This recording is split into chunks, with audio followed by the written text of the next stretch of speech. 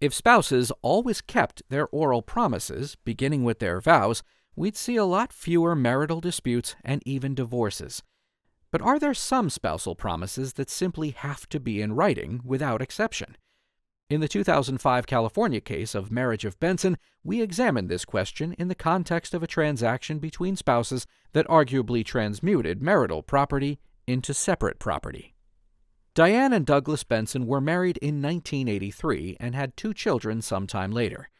They lived in a home owned by Diane's father in Santa Barbara.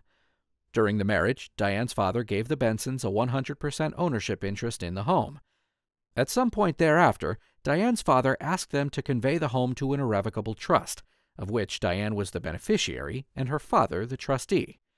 Diane and Douglas agreed and executed grant deeds conveying their interest in the home to the trust in the late 1990s.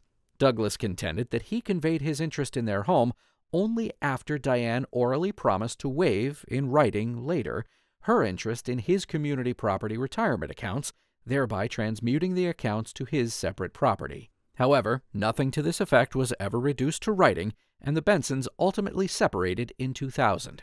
Diane filed for divorce in trial court the following year. Notwithstanding the absence of a written instrument in which Diane transmuted the community property retirement accounts to Douglas's separate property, the court found that she did effectively transmute them to his separate property, it reasoned that the statutory requirement to reduce any transmutation of property to writing under such circumstances was subject to exceptions, as with laws like the Statute of Frauds.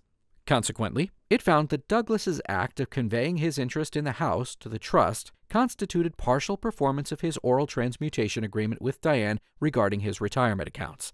Diane appealed this determination, and the appellate court affirmed. Diane appealed to the state Supreme Court.